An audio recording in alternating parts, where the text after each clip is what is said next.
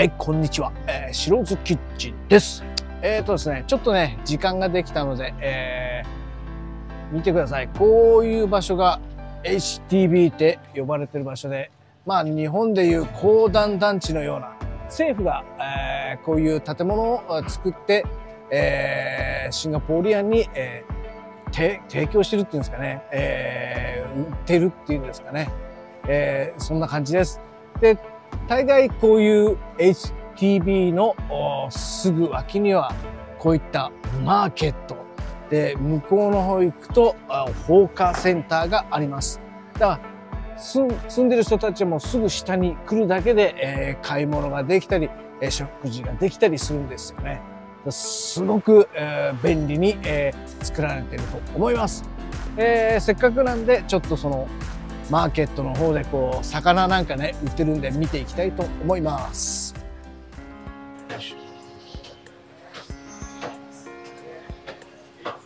うわこんな感じでやっぱ東南アジアのお魚が多いですね。うわ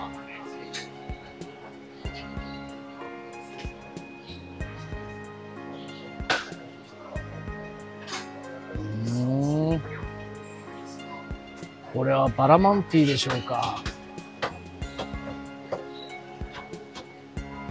やっぱりサーモンが売ってますね。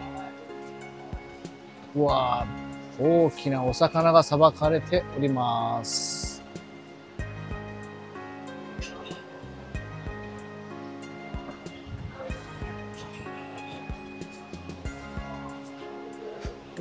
こちらにもお魚屋さんがあります。千年代が売っております。マナガツオバラマンティ。うわ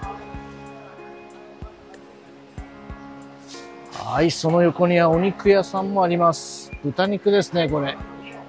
は、レバーも売っております。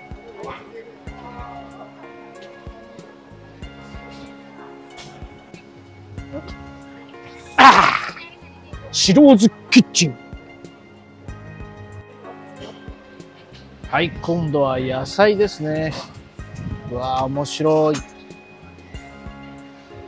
きゅうり、キャベツ、あ、山芋みたいのもありますね。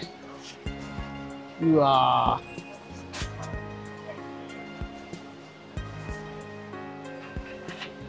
おー。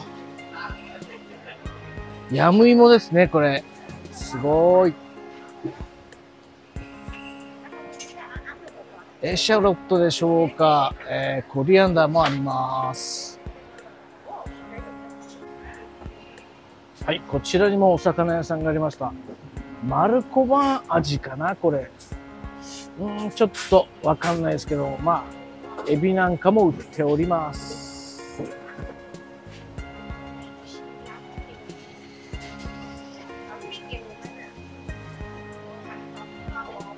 うわこれはお豆腐でしょうかねちょっ。とこんな感じで麺類も売っております。イエローヌードルとかですね。うわー、面白い。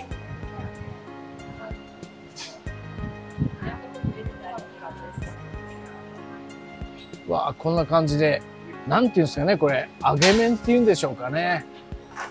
ピーナッツやらいろんなものが売っております。ああココナッツミルクもありますね。わあ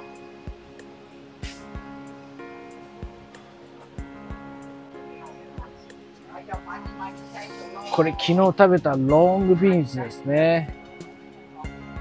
これ買って日本に持って帰ったら検疫をしなきゃいけないんでしょうな。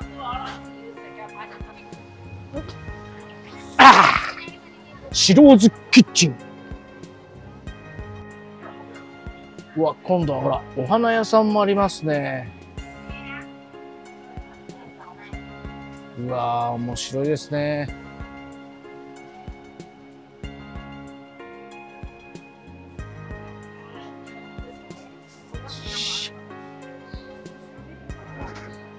うん。もしかしたらこれはカフェランリーフかもしれませんね。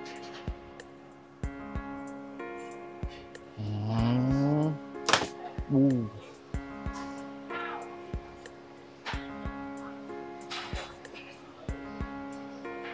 よいしょ。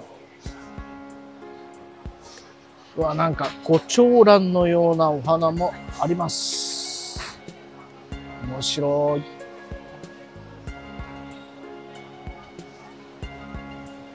まあこんな感じでですね、えー野菜やら、向こう行くとお魚、お肉、そして奥の方に行くと放火センターがあります。で、必ずこんな感じでお洋服も売っているという、もう、家から出てすぐの場所に、もう、いろんなものが買える場所があるというのがいいですね。すごく、めちゃくちゃ便利だと思います。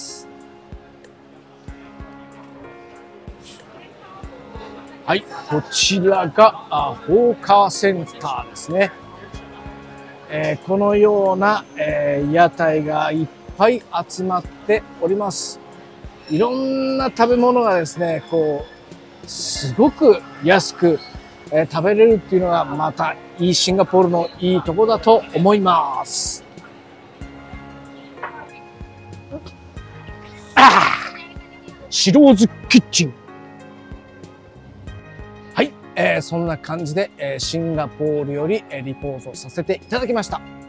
えー、ね、こんな感じで自分が暮らしているところから下に降りればすぐこんな感じでウォーカーセンターがあったり、えー、マーケットがあったりしたらものすごく便利ですよね。あちょっとこの食材が足りないって言った時はただ下に降りて買いに行ける。こんなスタイルが持っているシンガポールはすごいと思います。えー、めちゃくちゃ便利だと思いますね。えー、ですからね、まあ自分の夢なんですけども、こう、いつか日本でこのような感じでホーカーセンターが作れたらな、なんていう大きな夢を持っております。ねやっぱこういういい、えー、カルチャー、いい、え、システムはこうやっぱね、日本に持って帰って活かせたらな、なんて思っております。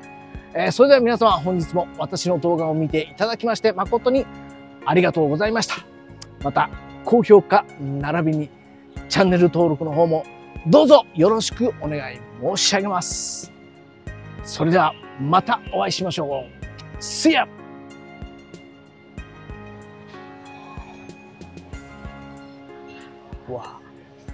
I know you told your friend you're not okay. And tell me what's wrong and why you never said you felt that way and Guess you're trying to stay strong and fake a smile until I look away But I've known you too long, it hurts to